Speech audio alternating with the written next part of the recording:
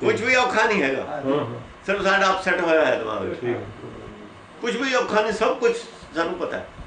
ਕਾਲੀ ਕਰ ਲੈਣੇ ਅਰਥ ਕਰਨ ਲੱਗੇ। ਦੇਖੋ ਨਾ ਧਿਆਨ ਵਾਲੀ ਗੱਲ ਆ ਗਈ ਨਾ। ਦਾਤਾ ਵਾਲੀ ਤਾਂ ਨਹੀਂ ਨਾ ਬਸ ਫਿਰ ਦਿਆਲ ਔਰ ਦਾਤਾ ਜਿੰਨਾ ਹੀ ਫ਼ਰਕ ਹੈ। ਦਿਆਲ ਵਾਲਾ ਗੁਣ ਅੱਗੇ ਹੋਰ ਹੈ। ਦਿਆਲ ਔਰ ਦਾਤਾ ਦੋਏ ਗੁਣ ਨੇ ਫਿਰ ਸਤਗੁਰ ਜਦ ਦਿਆਲ ਹੋ ਜਾਂਦਾ ਹੈ ਪਹਿਲਾਂ ਕੱਲਾ ਦਾਤਾ ਦਿਆਲ ਨਹੀਂ। ਉਹ ਪਾਵਰ ਨਹੀਂ ਹੈ। ਦਿਆਲ ਦਾ ਗੁਣ ਉਹਨੂੰ ਲੈਣਾ ਪੈਂਦਾ। ਦਿਆਲ ਦਾ ਗੁਣ ਕੀ ਹੈ? ਜਦ ਉਹਨੂੰ ਖਜ਼ਾਨਾ ਸੌਂਪਤਾ ਪੂੰਜੀ ਸੌਂਪਤੀ ਪਹਿਲਾਂ ਉਹਨੂੰ ਪੂੰਜੀ ਨਹੀਂ ਸੌਂਪੀ ਹੋਈ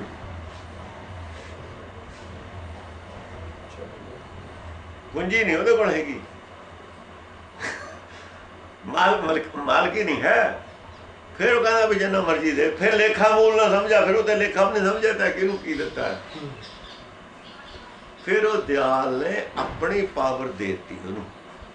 ਸਮਝ ਲੱਗੀ ਗੱਲ ਦੀ? ਉਹ ਦਿਆਲ ਨੇ ਦਿਆਲ ਦਿਆਲਤਾ ਦੀ ਪਾਵਰ ਨੂੰ ਦੇ ਦਿੱਤੀ। ਉਹਨੂੰ ਪਾਵਰ ਦੇਤੀ ਉਹਨੂੰ ਸ਼ਕਤੀ ਦੇਤੀ ਪਾਵਰ ਦੇਤੀ।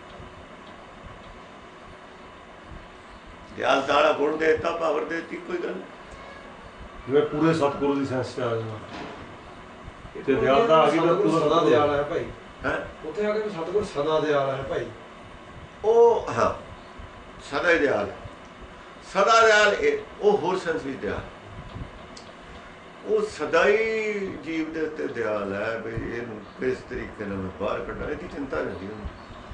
ਸਰਬ ਕੀ ਚਿੰਤਾ ਜਿਸ ਨੂੰ ਦਿਆਲ ਦੇ ਵੀ ਕਈ ਐਂਗਲ ਤੋਂ ਅਰਥ ਹੋਣੇ। ਦਿਆਲ ਸ਼ਬਦ ਦੇ ਕੋਈ ਅਰਥ ਨਹੀਂ ਹੋਣੇ।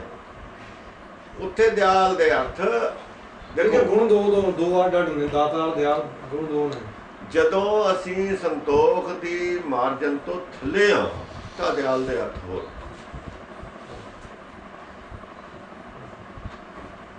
ਜਦੋਂ ਮਨ ਨੂੰ ਅਸੀਂ ਸੰਤੋਖੀ ਬਣਾਉਣਾ ਹੈ ਜੋ ਸੰਸਾਰ 'ਚ ਫਸੇ ਹੋਏ ਨੇ ਤਾਂ ਦਿਆਲ ਦੇ ਅਰਥ ਹੋਰ। ਸਾਰੀ ਬਾਣੀ 'ਚ ਇਦਾਂ ਲੱਗਣਗੇ ਸਾਰੇ ਲਫ਼ਜ਼ਾਂ ਜਦੋਂ ਅਸੀਂ ਨਿਰਾਕਾਰੀ ਦੁਨੀਆ 'ਚ ਪਿਓਰਲੀ ਚਲੇ ਗਏ ਤਾਂ ਅਰਥ ਹੋਰ। ਹੁਣ ਉਹ ਜਿਹੜੇ ਮੈਂ ਅਰਥ ਕੀਤੇ ਨੇ ਨਿਰਾਕਾਰੀ ਦੁਨੀਆ ਦੇ। ਅਰਥ ਜੋ ਨਿਰਾਕਾਰੀ ਦੁਨੀਆ ਦੇ ਅਰਥ ਨੇ ਸੰਤੋਖ ਦੇ ਲੈਵਲ ਤੋਂ ਅਗਲੇ ਅਰਥ ਨੇ। ਇਹ ਜਿਹੜੇ ਤੈਂ ਬੋਲੇ ਨੇ ਇਹ ਸੰਤੋਖ ਦੇ ਏਰੀਏ ਦੇ ਥੱਲੇ ਅਰਥ ਇਹ ਜੋ ਸੰਤੋਖੀ ਬਣਨਾ ਸਦਾ ਦੇ ਹਾਲ ਹੈ। ਉਹ ਗੱਲ ਕਹਿੰਦੇ ਹੋਰ ਸੰਦਰਭ ਚ ਗਈ ਹੋਈ ਹੈ। ਹਾਂ ਉਹ ਹੋਰ ਕਹੀ। ਪਹਿਲਾਂ ਤਾਂ ਉਹਨੂੰ ਮਾਇਆ ਨੂੰ ਧੋਣਾ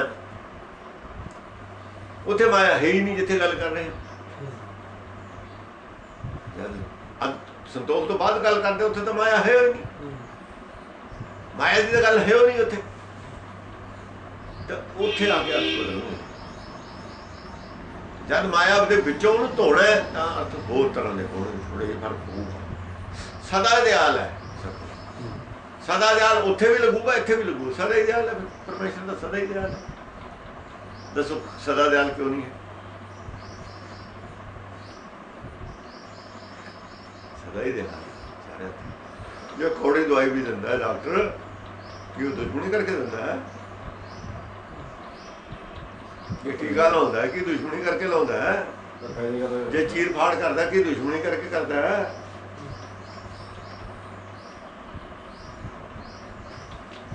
ਮੇਰਾ ਵੈਦ ਗੁਰੂ ਗੋਬਿੰਦਾ ਹੈ। ਇਹ ਵੈਦ ਆ ਫਿਰ ਦੁਸ਼ਮਣੀ ਕਰਕੇ ਨਹੀਂ ਕਰਦਾ ਫਿਰ ਧਿਆਨ ਕਰਕੇ ਕਰਦਾ। ਫਿਰ ਬਚਾਉਣ ਦੀ ਕੋਸ਼ਿਸ਼ ਕਰਦਾ। ਉਹ ਅਲੱਗ ਗੱਲ ਆ ਵੀ ਸਾਨੂੰ ਕਈ ਗੱਲਾਂ ਨਹੀਂ ਚੰਗੀਆਂ ਲੱਗਦੀਆਂ। ਸਾਡਾ ਦ੍ਰਿਸ਼ਟੀਕੋਣ ਹੋਰ ਹੈ। ਸਾਨੂੰ ਸੁੱਖ ਚੰਗਾ ਲੱਗਦਾ ਦੁੱਖ ਨਹੀਂ ਚੰਗਾ ਲੱਗਦਾ। ਇਹੀ ਤਾਂ ਫ਼ਰਕ ਹੈ। ਇਸੇ ਕਰਕੇ ਤਾਂ ਮਤਲਬ ਹੈ, ਸਾਡਾ ਵਿਚਾਰ ਅੱਡ ਨੇ ਸੱਚ ਨੂੰ ਅੱਡ ਨੇ ਸੱਚ ਤੋਂ ਦੂਰ ਹੋ ਗਏ ਸੱਚ ਸਾਨੂੰ ਕੌੜਾ ਲੱਗਦਾ। ਇਸੇ ਕਰਕੇ ਕੌੜਾ ਲੱਗਦਾ ਹਾਂ। ਕਿ ਸਾਨੂੰ ਸੁੱਖ ਚੰਗਾ ਲੱਗਦਾ ਦੁੱਖ ਭੈੜਾ ਲੱਗਦਾ। ਗੁਰਬਾਣੀ ਕਹਿੰਦੀ ਹੈ ਦੁੱਖ ਦਾਰੂ ਸੁੱਖ ਰੋ ਪਿਆ। ਸਾਨੂੰ ਫਿੱਟ ਨਹੀਂ ਆਉਂਦੀ ਗੱਲ ਇਹ।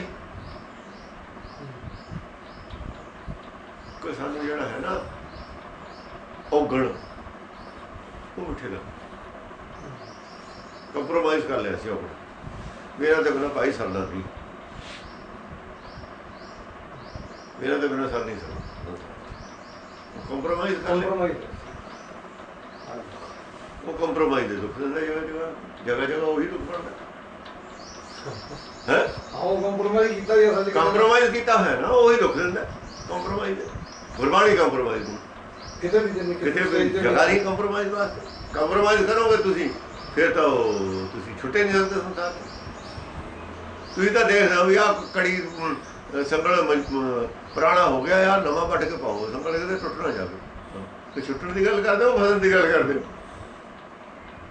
ਜਿਹੜਾ ਕੋਈ ਸੰਗਲ ਪੁਰਾਣਾ ਹੋ ਗਿਆ ਜੇ ਜੀ ਖਾ ਲਿਆ ਜੰਗ ਨੇ ਅਸੀਂ ਤਾਂ ਤੋੜ ਕੇ ਉਹਨੂੰ ਸਮਝ ਜਾਣਾ, ਤੁਸੀਂ ਕਹਿੰਦੇ ਇੱਥੇ ਨਵਾਂ ਪਾ ਲਈਏ, ਵੱਟ ਕੇ। ਤੇ ਫਿਰ ਹੁਣ ਛੁੱਟਣ ਦੀ ਸਲਾਹ ਹੈ ਕਿ ਬੰਨੇ ਰਹਿਣ ਦੀ ਸਲਾਹ ਹੈ? ਸਲਾਹ ਤਾਂ ਬੰਨੇ ਰਹਿਣ ਦੀ ਹੋਈ ਹੈ ਮਾਇਆ ਸਲਾਹ ਤਾਂ ਮਾਇਆ ਨੂੰ ਛੱਡਣ ਦੀ ਹੈ ਹੀ ਨਹੀਂ। ਤੇ ਫਿਰ ਬਾਕੀ ਧਰਮ ਧਰਮ ਇਹ ਗੱਲਾਂ, ਇਹਦਾ ਕੀ ਫਾਇਦਾ? ਕੁਛ ਜੇ ਸਾਡਾ ਇਰਾਦਾ ਹੀ ਨਹੀਂ ਮਾਇਆ ਨੂੰ ਛੱਡਣ ਦਾ। ਤੇ ਫਿਰ ਧਰਮ ਦਾ ਆਈਡੀਆ ਕੀ ਹੈ? ਕੀ ਮਤਲਬ ਹੈ ਕਿਉਂ ਸਭ ਕੁਝ ਕਰਦੇ? ਅਸੀਂ ਕਾਦੇ ਵਾਸਤੇ ਕਰਦੇ ਆ ਅਸੀਂ ਇਹ ਮੰਨ ਲਿਆ ਵੀ ਧਰਮ ਚੋਂ ਸਾਨੂੰ ਸੁੱਖ ਮਿਲੂਗਾ। ਸੰਸਾਰੀ ਇਹ ਨਹੀਂ ਮਿਲਦਾ ਹੈਗਾ, ਝੂਠ ਹੈ।